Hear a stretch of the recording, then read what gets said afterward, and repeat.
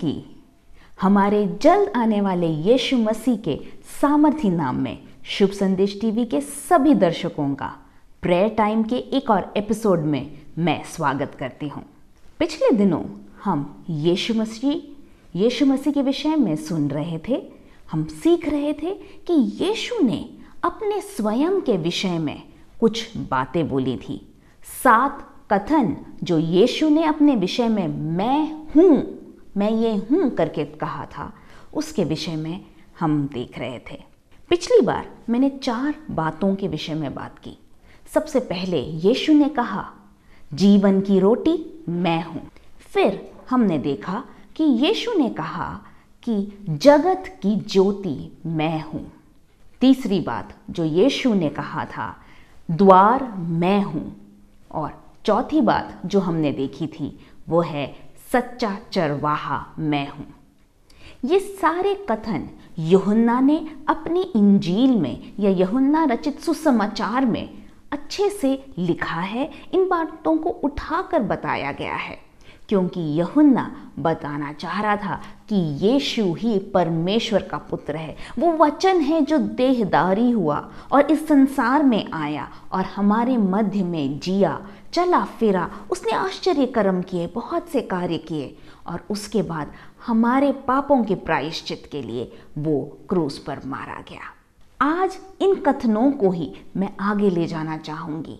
बाकी जो तीन कथन हैं यीशु मसीह के उस पर हम आज मनन करेंगे।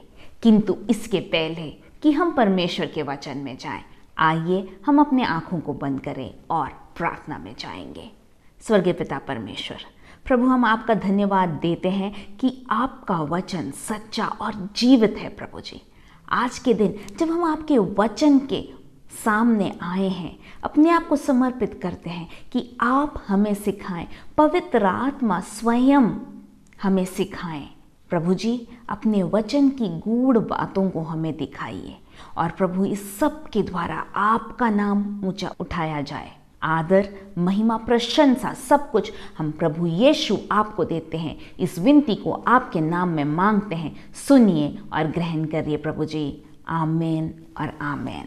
तो जैसे हम कह रहे थे कि हमने पिछली बार यहुन्ना की पुस्तक छठवें अध्याय से लेकर दसवें अध्याय तक के अलग अलग उन पदों को देखा, जहाँ यीशु ने अपने विषय में अलग अलग कथन बोले कि मैं ये हूँ। और आज हम उनके पाँचवें कथन पर आते हैं, जहाँ यीशु कहते हैं, यीशु ने कहा, पुनरुत्थान और जीवन मैं ही हूँ। तो आइए, आप मेरे साथ निकाल सकते हैं यहुन्ना का सुसमाचार, उसका ग्यारहवा अध्याय। ये एक वो घटना है यहाँ पर जिसका वर्णन किया गया है, जो यीशु के उनका जो इस संसार में जो जीवन था, उसमें एक बहुत ही अच्छे से लोगों को जाना पहचाना, बहुत लोग इस विषय में बात करते हैं उस वैसी एक घटना है। और ये वो घटना है जहाँ उन्होंने लाजर को मुर्दों में से जिलाया। यदि हम देखें तो ग्यारहवा अध्याय शुरुआत ही ऐसी होती है कि वो कहानी बताते हैं कि किस तरह मार था और मरियम वो बेथेनिया के गाँव में रहते थे और उनका भाई लाजर। ये तीनों यीशु के बहुत अच्छे मित्र थे। यीशु इस परिवार से बहुत प्रेम करता था, बहुत घनिष्ठता थी। और जब भी बेथनिया से होकर यीशु गुजरते थे तो इनके घर में ज़रूर आते थे और उन लोग, वे लोग भी उनका अतिथि सत्कार करते थे। और ऐसा हुआ कि लाजर, जो मार्था और मरियम का भाई था, वो बीमार पड़ता है। और मार्था अपने भाई के विषय में संदेशा भिजवाती है यीशु को कि लाजर बहुत बीमार है, कृपया करके आप आए। किंतु यदि हम इस अध्याय को पढ़ते हैं, यहाँ पर हम देखते हैं यीशु, ऐसा नहीं, यीशु तो इतना प्यार करते थे लाजर से। तो लोग मरियम और मार्था को यही लगा कि जब खबर पहुँचेगी तो जल्दी ही हमारे स्वामी या यीशु जल्द आ जाएँगे। किंतु यीशु दो दिन और वहीं इंतज़ार करते हैं। और जब उनके चेले सोचते हैं, पता नहीं क्यों ऐसा है? दो दिन बाद यीशु कहते हैं कि, चलो, अब हम चलते हैं कहाँ? लाजर के पास। और यहाँ पर, और सातवें पद में लिखा है, इसके बाद उसने चेलों से कहा, यीशु अपने चेलों से कह रहा है, आओ, हम फिर यहूदिया को चलें। और वो चेले उससे कहते हैं, हे रबी अभी तो यहूदी तुम पर पथराव करना चाहते थे और फिर आप वहीं वहाँ क्यों वापस जाना चाहते हैं? यीशु दूसरे दिशा में चले जाते हैं, ना कि बतनिया आते हैं। और आगे हम पढ़ते हैं, फिर एकदम से यीशु कहते हैं कि चलो, अब समय हो गया है हमें लाजर के पास जाने या बेथनिया जाने के लिए। और तब चेले पूछते हैं कि प्रभु, अब? और यीशु यहाँ पर कहते हैं कि लाजर सो रहा है। यीशु जिस तरह यहाँ लाजर के बारे में कहते हैं, वो यहुना का सुसमाचार, ग्यारहवा अध्याय और ग्यारहवा पद। यहाँ वो कहता है, उसने ये बातें कही और इसके बाद उनसे कहने लगा, हमारा मित्र लाजर सो गया है, परंतु मैं उसे जगाने जाता हूँ। तब चेलों ने उससे कहा, हे प्रभु, यदि वो सो गया है तो स्वस्थ हो जाएगा। यीशु ने तो उसकी मृत्यु के विषय में कहा था।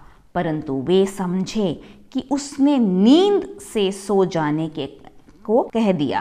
तब यीशु ने उनसे साफ़ साफ़ कह दिया, लाजर मर गया है और मैं तुम्हारे कारण आनंदित हूँ कि मैं वहाँ न था जिससे तुम विश्वास करो। परंतु अब आओ, हम उसके पास चलें। तब थोमा ने जो दिदिमुस कहलाता था उसके साथ ही, अपने साथ ही चेलों से कहा, आओ, हम भी इसके साथ मरने को चले। तो यहाँ पर हम देखते हैं यीशु, जब उसे खबर मिली बेथेनिया जाने की, वो एकदम बेथेनिया नहीं जाते, वो यहूद, यहूदिया चले जाते हैं। और उसके बाद, दो दिन बाद वो कहते क्या है कि, चलो, अब हम जाएँगे लाजर के पास, लाजर सो गया है। और यहाँ पर चेले सोचते हैं कि जो नॉर्मल हम सोते हैं, नींद के विषय में बोल रहे हैं, लेकिन यीशु उसकी मृत्यु के विषय में कह रहे थे। और यीशु ये भी कहते हैं कि मैं आनंदित हूँ तुम्हारे खातिर कि मैं वहाँ नहीं था। क्योंकि यीशु को पता था कि ये एक ऐसे चमत्कार के लिए ये सब हो रहा है, जिससे लोग ये जाने कि यीशु ही प्रभु है। वो स्वयं ज़िंदा खुदा है, वो मसीहा है, जिसके विषय में वचन में लिखा था और जिसे आना था। और आगे हम देखते हैं कहानी में, मैं बहुत ज़्यादा इसके डिटेल्स में नहीं जाना चाहूँगी, लेकिन आपको कहानी संक्षिप्त में बताऊँगी। जब यीशु पहुँचते हैं, जैसे मारथा जो बड़ी बहन थी, उसको खबर मिलती है कि यीशु आ रहे हैं। वो अपने घर से निकलकर दौड़ती है और जो बाहर जाकर, तब तक यीशु वो गाँव के अंदर पूरी तरह उनके घर तक पहुँचे नहीं थे। वो गाँव के बाहरी इलाके में ही थे। ये भाग कर जाती है और यीशु और उसके बीच में वहाँ कुछ वार्तालाप होता है। और ये बातें बहुत ही महत्वपूर्ण हुए क्योंकि यहाँ पर यीशु कुछ ऐसी बातें कहते हैं जो इतिहास को बदल देने वाली बातें थी। ऐसी बातें जो उनके विषय में एक नया दृष्टिकोण उनके चेलों को और सुनने वालों को देता है। क्या हम देखते हैं बीसवें पद में? जब मार्था ने यीशु के आने का समाचार सुना तो उससे भेंट करने को गई, परंतु मरियम घर में बैठी रही। और अब माता और यीशु के बीच में जो वार्तालाप हो रहा है, वो सुनने लायक है। इक्कीसवें पद में कहता है, मार्था ने यीशु से कहा, हे प्रभु, यदि तू यहाँ होता तो मेरा भाई कदापि न मरता। और अब भी मैं जानती हूँ कि जो कुछ तू परमेश्वर से मांगेगा, परमेश्वर तुझे देगा। यीशु ने उससे कहा, तेरा भाई फिर जी उठेगा। यहाँ यीशु उससे कह रहे हैं कि लाजरस फिर से जी उठेगा और तब मार्था झट से जवाब देती है। मार्था कहती है, मार्था ने उससे कहा, मैं जानती हूँ कि अंतिम दिन में पुनरुत्थान के समय वह जी उठेगा। यीशु ने उससे कहा, पुनरुत्थान और जीवन, मैं हूँ। जो कोई मुझ पर विश्वास करता है, वह यदि मर भी जाए तो भी जिएगा।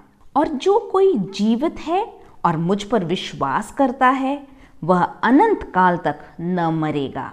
क्या तू इस बात पर विश्वास करती है? और उसने उससे कहा हाँ हे प्रभु, मैं विश्वास करती हूँ कि परमेश्वर का पुत्र मसीह जो जगत में आने वाला था, वह तू ही है। यहाँ मार्था और यीशु के बीच में जो बातें होती हैं, वो बहुत ही महत्वपूर्ण है। क्योंकि यहाँ पर मार्था जब आती है तो वो सबसे पहले दौड़कर यीशु के पास आके यही कहती है कि, हे प्रभु, यदि आप यहाँ होते तो मेरा भाई, वो मरता नहीं, वो ज़िंदा रहता। किंतु यीशु कहते कि तेरा भाई जी उठेगा। और वो ये समझती है कि ये उसकी उस समय की बात कर रहे हैं कि जब सारे मृत्यु के बाद सब एक दिन सबका पुनरुत्थान होना है, तब के विषय में यीशु बोल रहे हैं। किंतु यीशु उसी घड़ी, कुछ घड़ी बाद होने वाली उस घटना के विषय में कह रहे थे। और यहाँ यीशु जो शब्द कहते हैं, जो वाक्य कहते हैं उससे, पच्चीसवें पद में ये गौर देने वाली है। यहाँ यीशु कहते हैं, पुनरुत्थान और जीवन मैं ही हूँ। यीशु ने एक बहुत बड़ा वाक्य या कथन, यहाँ एक बहुत बड़ी कथन कही है। वो कहते हैं, पुनरुत्थान और जीवन मैं ही हूँ। वो ये नहीं कह रहे कि मैं उसे जिला सकता हूँ, किंतु वो कह रहे हैं, पुनरुत्थान और जीवन मैं ही हूँ। वो ये बता रहा है कि पुनरुत्थान का स्रोत, जीवन का स्रोत मैं हूँ। यह एक बहुत बड़ी बात प्रभु यीशु ने यहाँ वार्था से कही। और यीशु कहते हैं कि उसके बाद जो कहते हैं यीशु, जो कोई मुझ पर विश्वास करता है, वह यदि मर भी जाए तो भी जिएगा। जो यीशु पर विश्वास करेगा, यीशु बता रहा था कि जो मुझ पर विश्वास करेगा, चाहे उसकी शारीरिक मृत्यु हो जाए किंतु वो आत्मिक रीति से फिर से जी उठेगा। और छब्बीसवें पद में, और जो कोई जीवित है और मुझ पर विश्वास करता है, वह अनंत काल तक न मरेगा। यहाँ पर शारीरिक मृत्यु की बात नहीं हो रही है। जो जीवित हैं, हम, आप और मैं, यदि हम प्रभु यीशु पर विश्वास करते हैं तो वो कह रहा है, हमें, ऐसा नहीं कि हमें शारीरिक मृत्यु नहीं होगी, किंतु हमारी आत्मिक मृत्यु के विषय में कह रहा है। जब आदम और हवा उस अदन के वाटिका में थे और उन्होंने पाप किया। तो क्या हुआ था? परमेश्वर ने कहा था, जिस दिन तुम उस फल से खाओगे, उस दिन तुम मर जाओगे। किंतु वो शरीर में तो नहीं मरे, आत्मिक रीति से मर गए थे। वो महिमा जो प्रभु ने उनको, जब वो उनको सृजा था, जो परमेश्वर की महिमा उसमें थी, वो खत्म हो गई। वो आत्मिक मृत्यु। यहाँ यीशु कह रहा है, यदि तुम मुझ पर विश्वास करोगे जो मुझ पर विश्वास करेगा, वो मर, वो कभी मरेगा नहीं, या वो जीवन को प्राप्त करेगा, वो अनंत काल तक न मरेगा, वो आत्मिक मृत्यु के विषय में है कि यीशु में हम पुनरुत्थान, आत्मिक जीवन पाते हैं।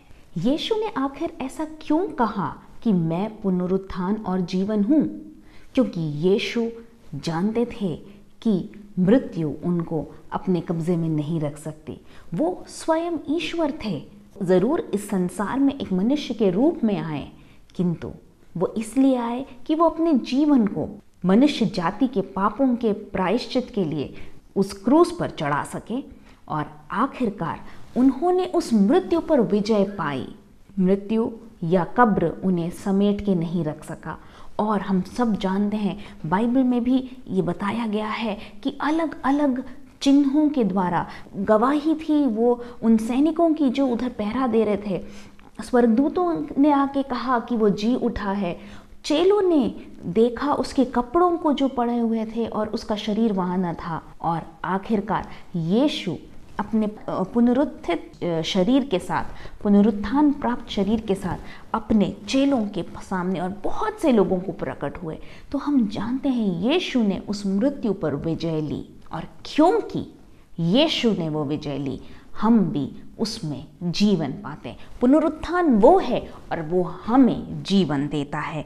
जैसे कि हम देख सकते हैं, पहला पत्रस, उसका पहला अध्याय यदि हम पढ़ें तो यहाँ पर लिखा है, हमारे प्रभु यीशु मसीह के परमेश्वर और पिता का धन्यवाद हो, जिसने यीशु मसीह को मरे हुओं में से जी उठने के द्वारा अपनी बड़ी दया से हमें जीवित आशा के लिए नया जन्म दिया। तो यीशु के जी उठने के द्वारा हमें नया जन्म और एक नई आशा है। और ऐसे ही पहला तस्लोनिकियों उसके चौथे अध्याय में यदि हम पढ़ें तो पॉलुस बताता है, क्योंकि वो जी उठा, हमें भी ये एक बड़ी आशा है। मसीहों में एक बड़ी आशा है। जो यीशु पर विश्वास करेंगे, उनमें एक बड़ी आशा है। मैं आपके सामने पढ़ना चाहूँगी पहला तस्लोनी क्यों उसका चौथा अध्याय, चौदवा पद जो कहता है, क्योंकि यदि हम विश्वास करते हैं कि यीशु मरा और जी उठा तो वैसे ही परमेश्वर उन्हें भी, जो यीशु में सो गए हैं, उसी के साथ ले आएँगे। और सोलहवा और सत्रहवा पद ऐसा कहता है, और जो मसीह में मरे हैं, वे पहले जी उठेंगे। यहाँ यीशु ने कहा था, क्या जो कोई मुझ पर विश्वास करता है, वह यदि मर भी जाए तो भी जिएगा। और वही पॉलुस बता रहा है, जो मसीह में मरे हैं, वे पहले जी उठेंगे। और उसके बाद यहुन्ना में यीशु ने क्या कहा था, और जो कोई जीवित है और मुझ पर विश्वास करता है, वह अनंत काल तक न मरेगा। इसके विषय में पॉलुस यहाँ पर पहले तस्लिनिकियों के चार के सत्रह में कह रहा है, तब हम जो जीवित और बचे रहेंगे, उनके साथ बादलों पर उठा लिए जाएँगे कि हवा में प्रभु से मिले। क्या ही बड़ी आशा है, क्योंकि यीशु ने मृत्यु पर विजय पाई। और यहीं पर है जो वो पद पॉलुस भी कहता है, हे मृत्यु, तेरा डंग कहाँ? मृत्यु का अब मनुष्य पर कब्जा नहीं, क्योंकि यीशु ने मृत्यु पर विजय पाई। यदि हम उस पर विश्वास करते हैं तो हम भी उस पुनरुत्थान को और अनंत जीवन को प्राप्त कर सकते हैं। ये था पांचवा कथन जो यीशु ने कहा। छठवा कथन जो यीशु ने कहा, वो हम देख सकते हैं, युहन्ना, उसके चौदहवें अध्याय में और उसके छठवें पद में, जहाँ यीशु कहता है, मार्ग और सत्य और जीवन मैं ही हूँ। यहाँ यीशु बहुत स्पष्ट रीति से बता रहे हैं कि मार्ग, सत्य और जीवन। इसके पहले जब हम देखते हैं तो यीशु बताते हैं कि मैं जा रहा हूँ और पूछते, क्या तुम्हें पता है वो मार्ग जहाँ मैं जा रहा हूँ? और चेले इस बात को समझ नहीं पाते कि आखिरकार कहाँ जा रहा है और वो पूछते हैं कि मार्ग क्या है। कौन से मार्ग से आप जाएँगे? कहाँ जा रहे हैं आप?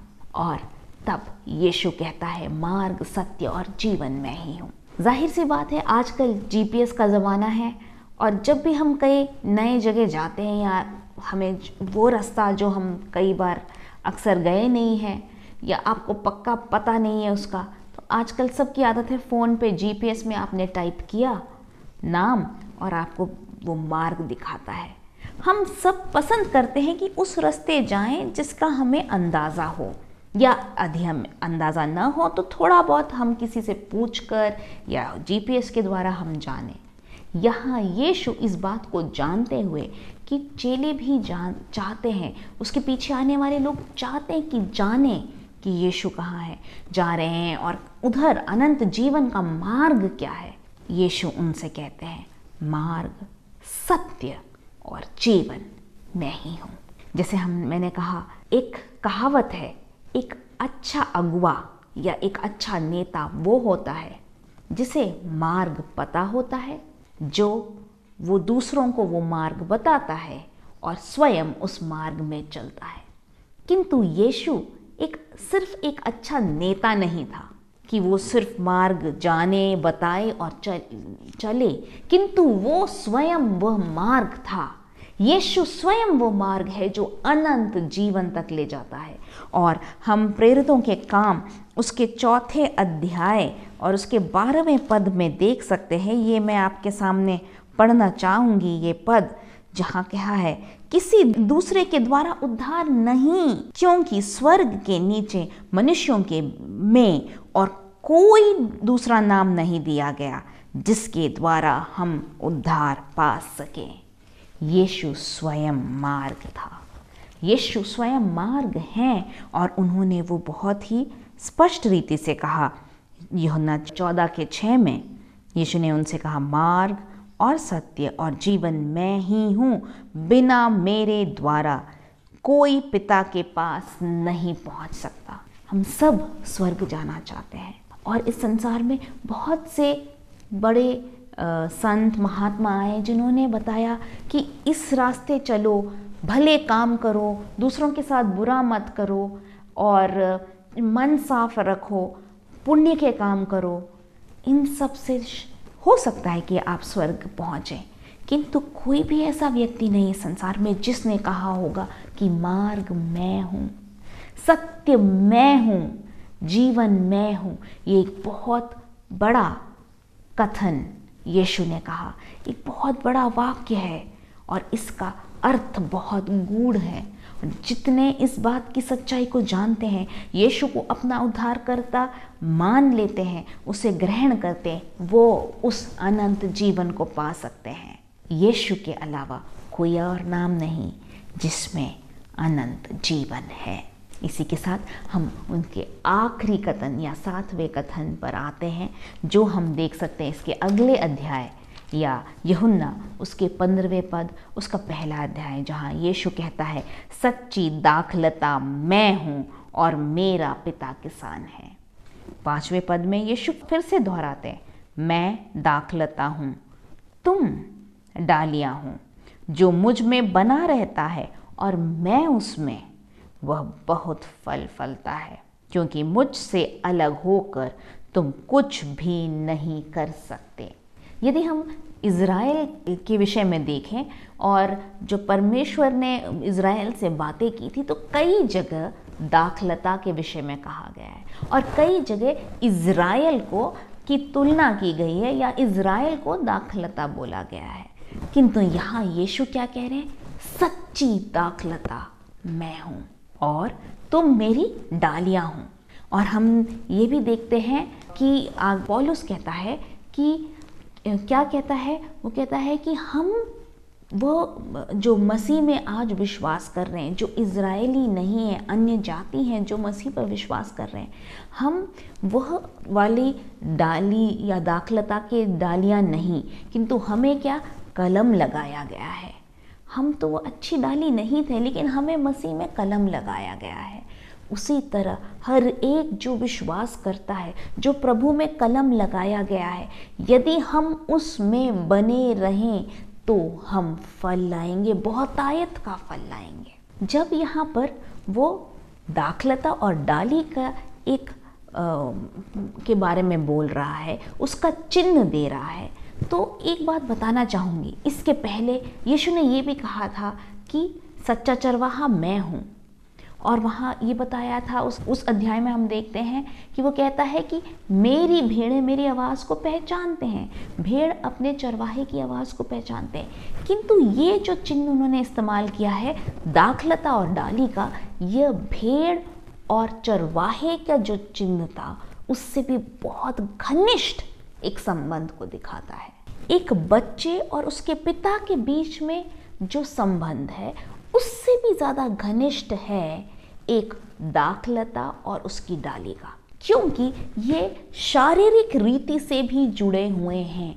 जब तक वो डाली जो दाखलता में नहीं बनी रहती, उसमें से वो उन तत्वों को नहीं ग्रहण करती जो उसको बढ़ने में मदद करे, जो उसको फलवंत करने में मदद करे तब तक वो फल नहीं ला सकती। यदि वो शारीरिक स्थिति से जुड़ी न रहे तो वो सूख जाएगी।